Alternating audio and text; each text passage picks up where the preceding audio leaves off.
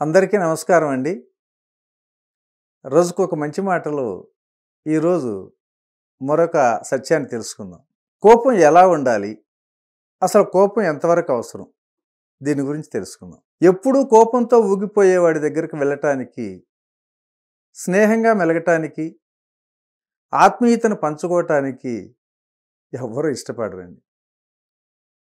ఆయన ఉన్నతాధికారి అయినా ఉపకారం కూడా చేయగలవాడైనా ఇష్టపడరు. ఆయన చాలా కోపిష్టి. ఎప్పుడు కోపడతాడో తెలియదు. ఎందుకు వచ్చిన గొడవలే? మరో దారి చూసుకుందాం అని అనుకుంటూ ఉంటారు. కట్టుకున్న భార్య కూడా భయపడిపోతూ ఉంటుంది. తోబుట్టువులు స్నేహితులు కూడా ఆయనతో అంతంత మాత్రంగానే ఉంటారు. అది చాలా ప్రమాదకర లక్షణం కూడా. అగ్ని అంటుకున్న తర్వాత మంట పైకి లేస్తుంది. చుట్టూ ఉన్న వస్తువులన్నింటినీ కాల్చేస్తుంది. అప్పుడు నీళ్ళలాగానే ఉంది కదా అని నెయ్యి పోశారనుకోండి ఏమవుతుంది? ఆ మంట మరింతగా పెరిగిపోతుంది. కోపం కూడా అంతేనండి. మరి దాన్ని ఎలా అణచాలి? ఎలా అదుపు చేసుకోవాలో తెలుసుకుందాం. చూడండి పాము ఒంటికి కుబుసం పట్టుకుంటుంది. కుబుసం ఉన్న పాము చాలా కోపంతో కూడా ఉంటుంది. సరిగ్గా కళ్ళు కనపడవు. అప్పుడు దాని ఒంటికి తొడుగు ఉంటుంది. అయితే అది దానికి రక్షణ కలిగిస్తూ ఉంటుంది. అలాని పాము దాన్ని అసలు ఉంచుకోదు కూడా.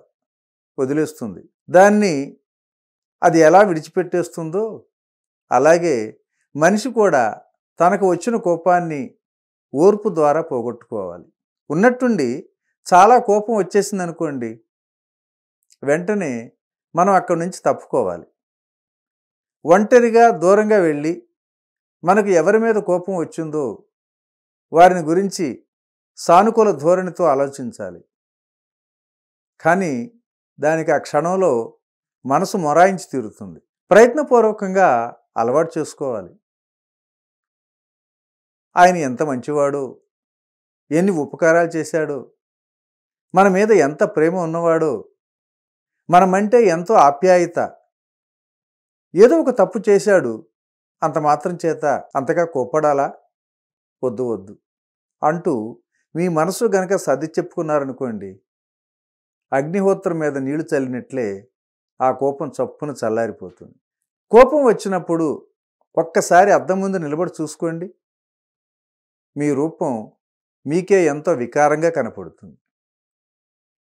ఇంత చెడ్డది కదా కోపం? మరి ఆ భగవంతుడు ఆ కోపాన్ని ఎందుకు సృష్టించినట్లు?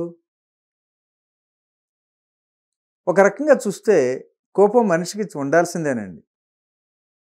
అయితే ఎలా ఉండాలంటే చేతిలో ఒక సాధనంగా ఉండాలి. చీకట్లో నడిచి వెళుతున్నారనుకోండి ఒక కర్ర చేత్తో పట్టుకొని వెళ్తాం కదా. ఎందుకంటే ప్రమాదకర పరిస్థితుల్లో ఆపదను అడ్డుకోవటానికి అది ఆత్మరక్షణకు. అలాగే వ్యవస్థలను చక్కదిద్దటం కోసం అటువంటి తప్పులు మరలా జరగకుండా నివారించడం కోసం కోపాన్ని నటించాలి. ఆ కాసేపే.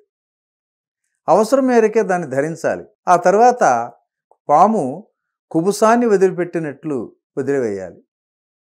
ఇక దాని జోలికి వెళ్ళకూడదు. అంతకు పూర్వం ఎలా ప్రేమ స్వరూపులుగా ఉన్నారో అలాగే అంత ప్రేమగా మెలగాలి. కోపం విషయంలో అందరూ తెలుసుకోవాల్సిన పరమ రహస్యం కూడా ఒకటి ఉంది. బాగా కోపడిన తరువాత మీరు కోరుకున్న మార్పు శాశ్వతంగా మాత్రం రాదు.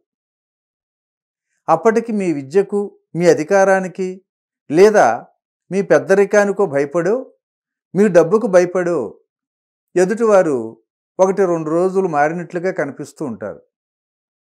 అయితే అది మనసులో వచ్చిన మార్పు కాదు. అదేవిధంగా కోపానికి విరుగుడు ప్రేమ తప్ప మరొకటి కూడా లేదనే విషయాన్ని కూడా తెలుసుకోవాలి. దీంతో శాశ్వత ప్రయోజనాలు ఎన్నింటినో కూడా మనం సాధించగలం. ఓకే ఫ్రెండ్స్ మరి ఈరోజు ఈ మంచి మాటను ఇంతటితో ముగించుకుందాం.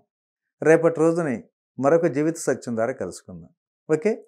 థ్యాంక్ యూ ఇట్లు మీ రామిరెడ్డి మానస సరోవరం. you